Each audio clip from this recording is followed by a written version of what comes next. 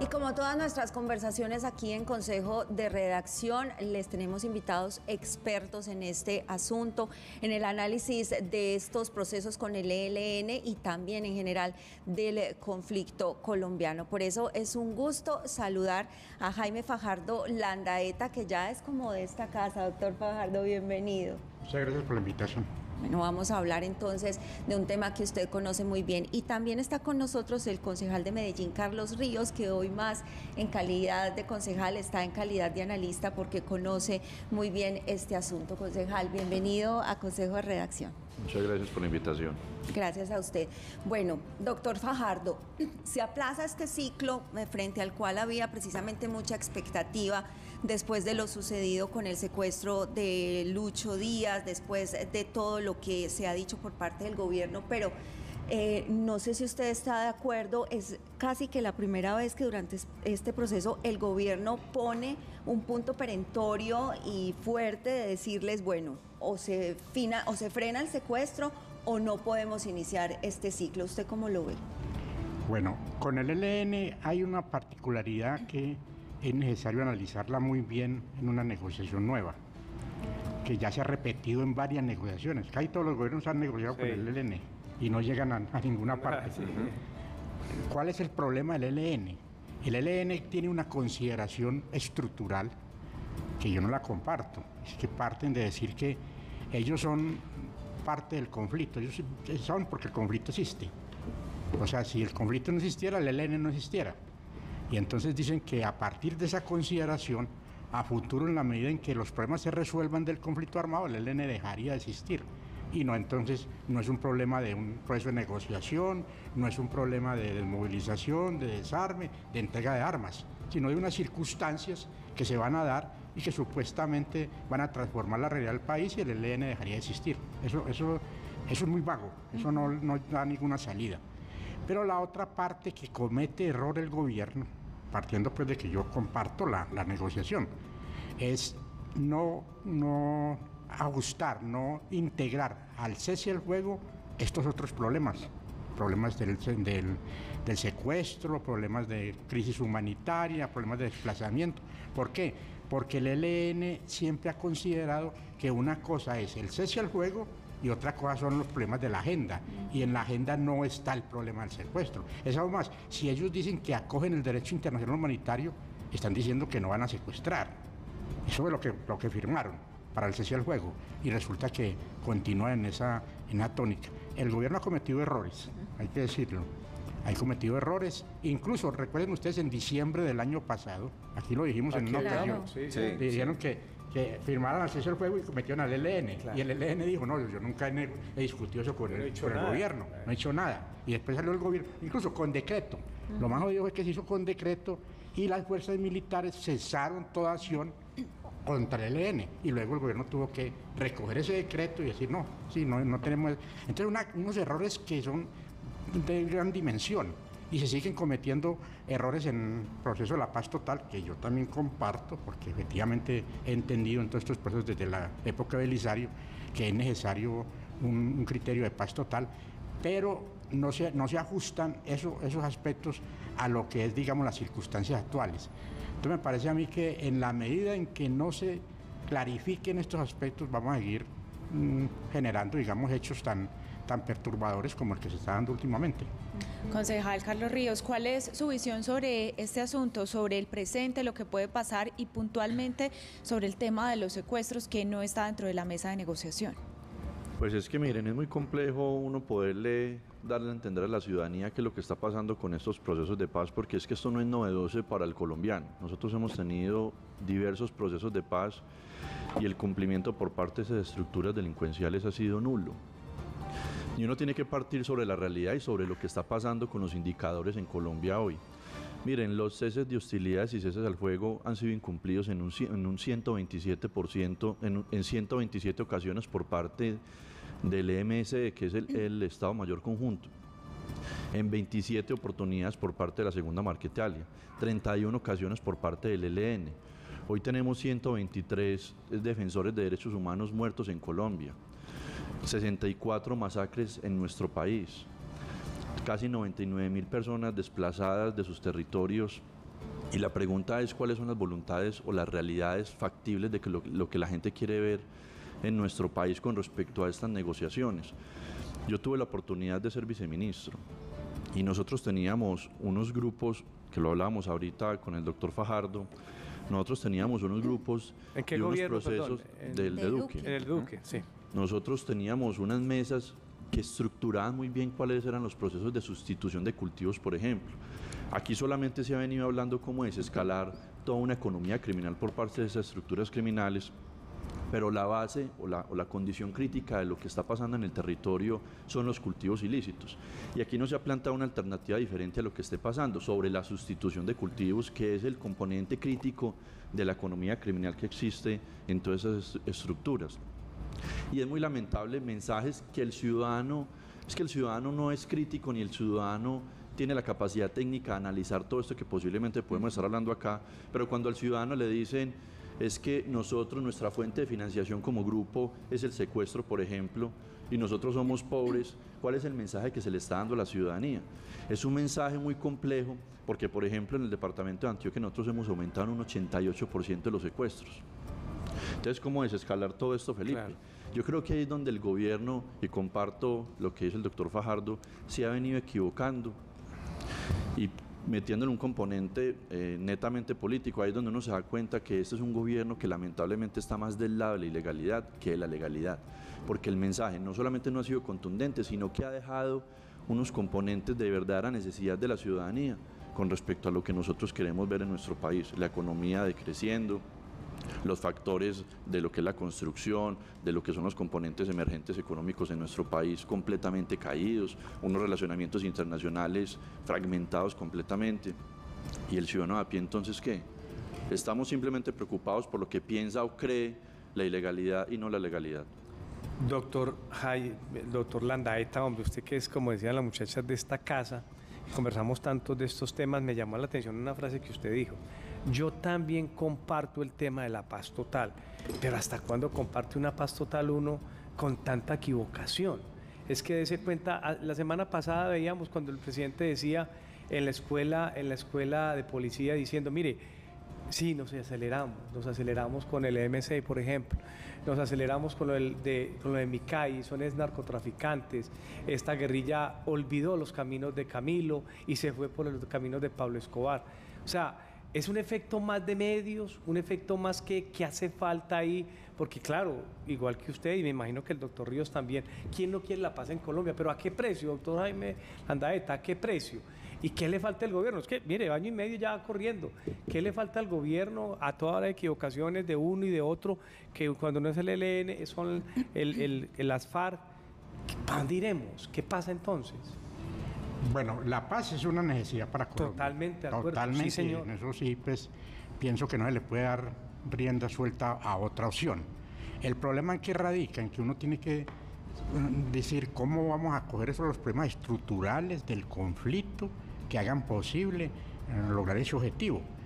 Entonces el gobierno no, no planteó una propuesta inicial que analizara todo lo que ha pasado en este país en relación con el conflicto, pero también con la solución del- de él, sino que planteó inicialmente como una propuesta que llamara la atención. Sí, exacto. Cese al juego, cese al sí, juego multilateral. Mediática, algo así, sí, sí. Y resulta que el cese al juego en estas circunstancias, en las de hoy, no en las de hace 10 años o 20 años o hace 5, en las de hoy implica cese al juego con protocolos, con verificación, con presencia de entidades internacionales en ello. Eso no se hizo. Pero además de eso, con el ELN en particular, había que mostrar si ante los hechos anteriores, donde el ELN nunca ha planteado desmovilización, nunca ha planteado desarme, nunca ha planteado llegar a un punto de, digamos, de, de salida al conflicto donde ellos no existan como, como organización armada, sino como organización política o lo que quieran ser después de una negociación, entonces el gobierno dice, vamos a tratar una negociación con el ELN sin analizar los factores. El ELN tiene un problema serio interno, interno. Es que tiene una franja que es demasiado radical en la postura de que es posible todavía ganar, el, ganar en el conflicto el poder. Eso, eso, eso ya pasó de moda. Eso fue posiblemente en otro momento, pero la Constitución del 91 le quitó fuerza a la posibilidad de la lucha armada como opción de poder. Eso, eso es una realidad. Ellos lo entendieron después de muchos años, pero no han logrado todavía eh, una unidad interna. Entonces, ellos creen que van a negociar con el Estado de tú a tú y que el Estado en un momento determinado va a, a, ceder en tal nivel, en tal nivel donde ellos puedan ser como una parte de la reconstrucción del Estado. Eso, eso no es posible, el ELN no va a lograr eso, el gobierno no puede hacer eso. Y el gobierno se equivoca al plantear un diálogo y una negociación con el ELN sin antes, antes de decirle, va señores, ustedes en cinco gobiernos han planteado siempre esto Hoy tenemos una opción, una negociación que haga posible ampliar la democracia, desarrollar la constitución, mejorar cosas, incluso si quiere mm, convocar plebiscito, lo que quieran, pero no va a ser posible en el marco de lo que ustedes consideran que es una renegociación de toda la institucionalidad. Jaime, volvamos al tema del, del secuestro y vamos a aventurar una postura desde la otra orilla porque la quinta ronda, la que estaba planeada en México, se suspende porque eh, eh, la, comisión delegada para negociar por parte del ELN no responde a la carta de Otto y Patiño. Pero ¿no sería de pronto más fácil retomar la conversación, la discusión y en desarrollo de ella proponer como un gesto de buena voluntad la liberación total de los secuestrados? Es decir, que no sea el impedimento, porque es que el botín la disputa son personas secuestradas y desde hace un buen tiempo. Y lo que sobre todo en este momento interesa es la libertad para esas personas. ¿Usted no cree que de pronto sentarse, conversar y pedir una buena voluntad respecto a la liberación podría ser una de las alternativas más que aplazar la ronda? Sí, pero la, que está planteada es una, una, reunión entre las partes, entre dos negociadores del ELN y dos negociadores del gobierno. Y eso está bien, porque la mesa es muy amplia se convierte pues, en un debate interminable. Y es ahí donde debe tocar el tema concreto entre las partes que deben de responder por la negociación de si realmente el ELN va a ceder o no en esto que nunca ha cedido. Porque es que ni la comunidad internacional, ni hoy los colombianos aceptarían que se desarrolle una agenda sin definir ese punto. Porque el hecho que, que se hizo, no más que porque sea el papá de, del futbolista de Luis Díaz, de Luis Díaz es, que ya la gente está harta del secuestro, harta de que se negocien ciertas cosas y no se definan de antemano para dónde va esto.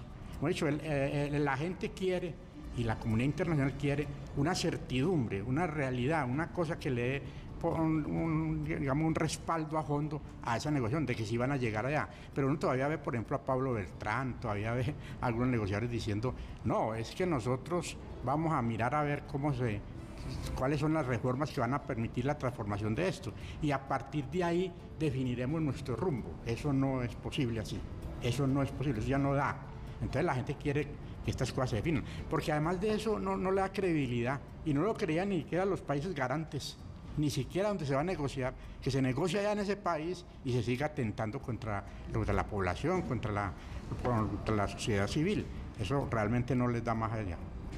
Concejal, en su calidad de ex viceministro de Defensa, el Estado tiene el poder para de no surgir eh, o no surtir un buen resultado eh, con esta negociación enfrentar al ELN, porque es que son años y años y no se ha logrado. Incluso el gobierno del expresidente Duque pues dijo que se cerraba la puerta a cualquier negociación después de esos actos terroristas en la Escuela General Santander, por ejemplo. Pero ¿qué, ¿cuál entonces es la salida si no es el diálogo? Miren, yo quisiera, Andrea, antes de tocar este punto, hablar sobre el tema del secuestro y es que es contradictorio que nosotros hablemos del secuestro y, haya aumentado en un 88%, por ejemplo, en Antioquia. Entonces es como que una condición siempre previa a la negociación, incrementar siempre sustancialmente esas conductas delincuenciales para sentarse a negociar. Yo veo muy complejo que eso vaya a pasar que se ponga en la mitad el tema del secuestro, porque para ellos, como muy bien Felipe lo decía, eso es un botín muy importante, no solamente para la negociación, sino para lo que ellos han venido generando desde esa narrativa consecuente con lo que hacen. Claro que el Estado tiene las capacidades y es que en esas conductas operacionales de estos grupos al margen de la ley se han venido reduciendo sustancialmente esos actuarios. Y ahí es donde el Estado tiene que ser inteligente, no solamente en esa conducta operacional con el Estado de Derecho, sino adicionalmente de tener una acción unificada del Estado para llegar a esos territorios en donde el Estado nunca ha estado. Y eso es lo importante de entenderlo también del lado de institucionalidad, para que efectivamente el Estado entienda cuáles son las verdaderas necesidades que se tienen allá. Ahorita, por ejemplo, lo hablábamos sobre el tema de la sustitución de los cultivos. ¿Cómo nosotros podemos llegar a un territorio, por ejemplo, como Arauca, como Nariño, como Caquetá, como Putumayo, en donde todos estos grupos tienen capacidad de acción y posiblemente son quienes tienen la capacidad de llegar como institucionalidad? Ustedes lo veían, Iván Mordisco, eh, entregando obras públicas y eso pues obviamente para el ciudadano a pie es muy complejo, pero esa es la realidad del territorio. Y eso es un llamado y, y, una reflexión que nosotros tenemos que hacer, qué está pasando como institucionalidad que no estamos llegando y está suplantando el Estado una persona como Iván Mordisco que está al margen de la ley. Esa acción unificada del Estado nosotros la hacíamos desde el gobierno y es llevar todos los componentes de acción, llámese IF, ICBF, llámese infraestructura, llámese invías, llámese secretarías, eh, eh, eh, ministerios de desarrollo económico que nos permitan a nosotros poder entender cuáles son esas verdaderas necesidades. Pero con el componente operacional claro que tenemos que llegar. Mire, el presidente Uribe así a la gente no le guste tuvo la capacidad de disminuir sustancialmente todos esos componentes operacionales por parte de estos grupos al margen de la ley. Y eso lo tenemos que hacer. Eso tiene que ser un proceso constante y tiene que ser una política de Estado para que efectivamente esos grupos no sigan estando en Colombia. Doctor, ¿tiene algo que decir? y le voy a sumar una pregunta. ¿Qué tanto se puede estar fortaleciendo el ELN mientras está sentado en una mesa de negociaciones, pero a la vez incrementando los secuestros? No, dejemos claro una cosa. La institucionalidad carece de legitimidad en muchas zonas del país. Y no ahora, no con este gobierno. Hace tiempo, desde eso lo debatimos en la constituyente del 91, pero debatíamos mucho eso. La constitución debe ser un elemento que permita que el Estado cope todos los territorios. Y la verdad es que no se ha podido... Pero pasaron los años y nunca ocurrió. No, nunca se ha copado. Siempre han estado los grupos armados, unos, surgen, otros se movilizan, surgen otros y así. Miren, por ejemplo, no hablemos solamente de, del EN, ¿qué tal lo del Clan del Golfo? Ah, es aún más los grupos armados han definido qué hacer con la institucionalidad. No nos digamos mentiras. Esa es la realidad. Hoy, por ejemplo, para unas elecciones y muchos de los ah, elegidos fueron producto de, ah, de, acuerdos con la ilegalidad, con estos grupos armados en esas zonas. Esa es la realidad, no, no se ha logrado copar. ¿Por qué eso? ¿Por qué eso? Porque primero no existe la capacidad institucional de copar todos esos territorios. Pero además de eso, porque muchas comunidades han estado al servicio de estos grupos ilegales. Vaya usted al Catatumbo. Incluso, bueno, Urabá ha cambiado la cosa, pero no del todo. Aún así, con que ha cambiado la cosa, eh, sabemos que el clan del Golfo tiene una gran incidencia allí en la zona. Y, incluso ah, en algunas que dicen, ah, que esa zona como está pacificadora, ¿ves cómo ha cambiado? Y resulta que por debajo está toda la economía ilegal, está toda la acción de los grupos. Y entonces, ¿por qué eso? Porque es que también el Estado o sectores del Estado se han favorecido de esa situación que, que viven los territorios. Mientras el Estado no se modifique a fondo, mientras la acción del Estado no sea realmente por propiciar todos los canales democráticos de decisión democrática, vamos a tener problemas en ese campo. Entonces esto no va a surgir porque se negocie no con el ELN, esto va a surgir porque efectivamente la sociedad haga uso a fondo de todas las capacidades democráticas que ha creado la Constitución del 91, porque si no inventar cosas nuevas.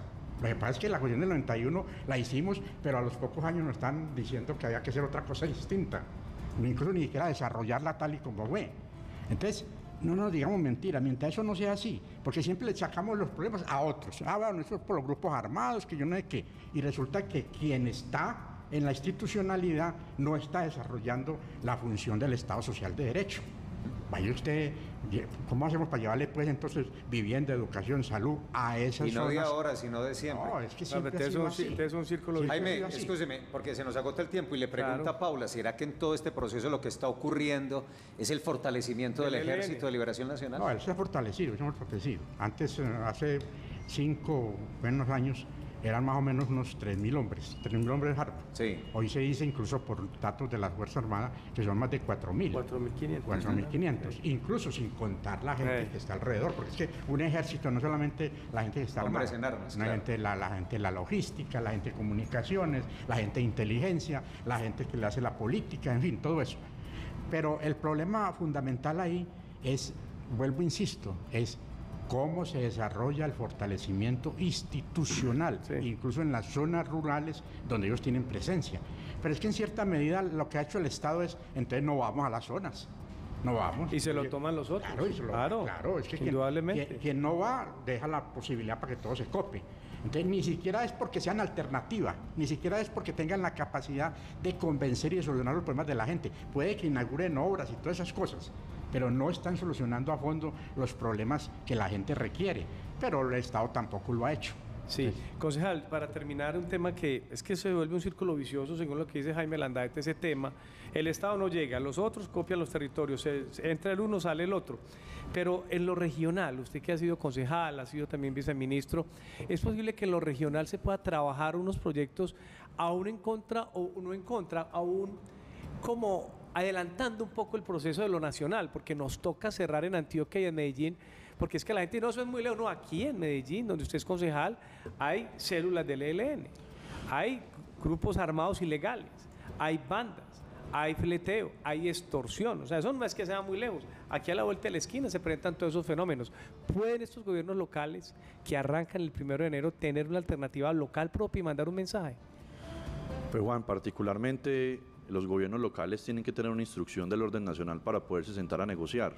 Y eso creo que podría hacerse. Yo creo que es muy importante, y yo lo he dicho inclusive en el Consejo, que se divida la negociación. Una es la negociación rural y otra la negociación urbana. Totalmente. Nosotros solamente en Antioquia le entregamos al, a todo el Estado colombiano el 48% de la conducta criminal de todo el país. Nosotros tenemos 64 estructuras y subestructuras solamente en Antioquia. De las 64 estructuras, 54 están en área metropolitana. Es decir, la conflictividad que nosotros tenemos y todo lo derivado que existe en Antioquia, lamentablemente parte del área metropolitana, del urbano. Nosotros claramente sí tenemos que hablar con ellos. Y es que aquí todos lo hemos dicho y estamos de acuerdo, y usted hace la pregunta en los medios si usted quiere la paz o no, todo el mundo le va a decir que sí, pero ¿cuál es el instrumento para llegar a la paz? O es la justicia, o es el Estado de Derecho, o es el Estado Social de Derecho, o es sentarnos a negociar N veces como lo hemos hecho y lamentablemente no hemos tenido producto alguno sobre ello. Yo creo que nosotros con estos grupos, los GDCO, nosotros sí nos tenemos que sentar a negociar. Pero nosotros nos tenemos que sentar a negociar no es cediendo, es poniendo unos límites y entendiendo qué es lo que quiere la ciudadanía. En estas negociaciones a la ciudadanía no se le ha involucrado. Al ciudadano a pie nunca se le ha preguntado qué es lo que quiere con respecto a estas negociaciones. Pero nosotros hoy tenemos un gran reto y es entender que estos grupos existen, con ellos hay que hablar y revisar hasta dónde se puede llegar, pero no cediendo la institucionalidad, ni mucho menos los derechos y las libertades de los ciudadanos. Pues ahí está la participación de nuestros analistas esta mañana. Álvaro Jaime, gracias hombre. ¿Alguien le dice hoy todavía Álvaro? Camarada. Camarada todavía le dicen. Ha pasado muchas décadas para ese camarada. Y el Álvaro Jaime también. El doctor Fajardo Landaeta, gracias por acompañarnos y ayudarnos a entender. Siempre lo convocamos y usted nos asiste en estas reflexiones tan importantes. Muy amable. Muchas gracias a ustedes. Concejal, y usted también gracias por acompañarnos. Hombre, de la cifra de ahorita del salario definido para alcalde, personero y contralor, esto se lo pregunto al concejal de Medellín. Eso dice vigencia 2023, ¿eso es retroactivo o es en adelante? Eso es retroactivo. O sea que Daniel Quintero, el Alcalde, el, personero, desde enero van a a compensar 3 milloncitos el, el 14, el 14% del salario de este año. No, no, serían los tres, pero Retroactivo como dos a enero de este año. Sí, exacto.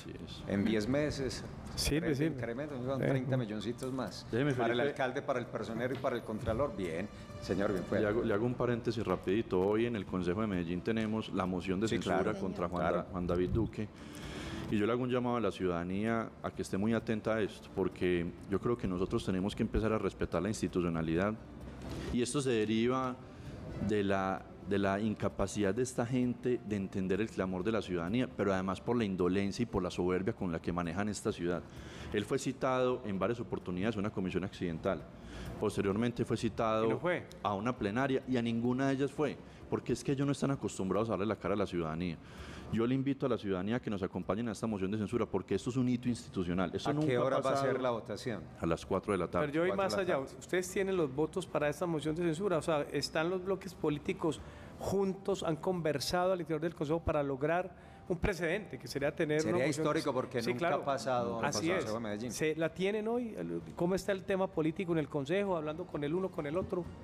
Pues hoy no está claro la votación. Ah, y, pero, pero yo por eso invito a la ciudadanía para que, esté atenta, porque, porque es que esto no solamente es un hito institucional desde el punto de vista de las formas como una moción de censura, sino lo complejo que ha sido... Lo que hay detrás, claro. Con respecto a lo que hay detrás en esta administración distrital. Cuatro de la tarde y el sistema informativo Teleantioquia ah, Noticias obviamente estará muy atento a esa situación. A propósito de ello, hay dos ruedas de prensa previas. El propio Juan David Duque, secretario privado, está citando a rueda de prensa a las 10 de la mañana, piso 12 de la Alcaldía de Medellín, precisamente para referirse a esa votación en el Consejo. Pero también hay rueda de prensa con el citante Alfredo Ramos, 10.30 de la mañana, ahí eh, en, la Alpujarra y en la plazoleta, fuera el ingreso del Consejo de Medellín, obviamente para referirse al tema. Eso va a estar interesante, pero ¿qué va a ocurrir? ¿Qué va a pasar? Nada. Pues hombre, nosotros sí quisiéramos que los concejales estuvieran del lado de la ciudadanía y no del lado de esta administración distrital que ya de más está desgastada y ha mandado unos mensajes erróneos. Pero las cuentas, concejal, no dan para la moción de censura. No, es que es dos terceras partes de la votación, es decir, necesitamos 14 votos, no es una votación ordinaria de 11 y ahí es donde está lo complejo. Ojalá los concejales entendieran que la ciudadanía quisiera un mensaje contundente con una moción de censura como esta. Al parecer otra moción de censura que no va a llegar a ninguna parte como casi todas en este país. Bueno, pero la decisión la toman los concejales. Son ellos los que se encargarán a las 4 de la tarde de definir el futuro del secretario privado de la alcaldía de Medellín.